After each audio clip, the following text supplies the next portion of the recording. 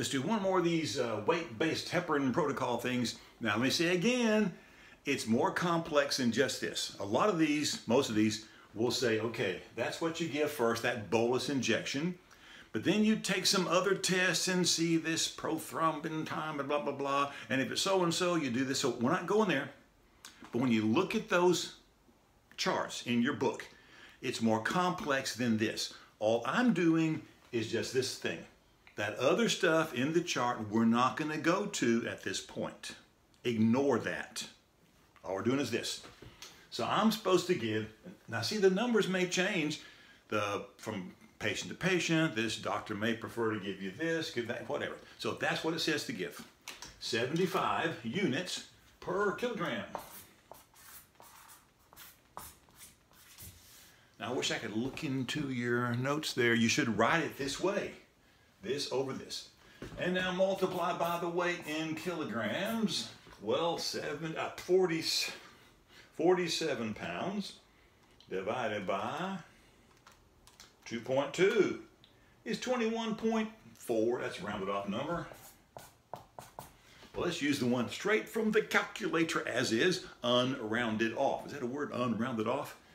So 21 point blah, blah, blah, blah, blah, blah, times 75 is 1602.27272, but that's what? Kilograms cancel? That's how many units I'm going to give my patient. But I need to know how many milliliters to put in my syringe to stick my patient with a sharp object.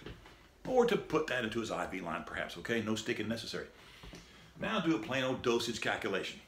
I'm going to give 1602 units, and I've got a thousand units in every milliliter. Now this part, you should know how to do. That's just dosage calculation. I'm not reviewing this because you should know how to do this already for weeks and weeks and weeks. That cancels this. It's just this divided by that.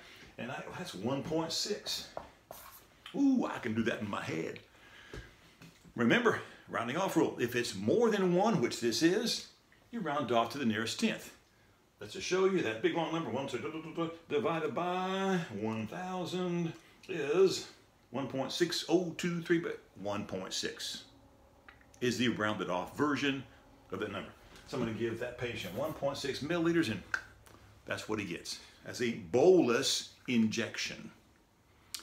Well, that's as far as we're going to go now into that weight-based heparin protocol. Let me say it again. And your friends who didn't go and watch this video, they're going to be really confused, and it's their fault, and they deserve it.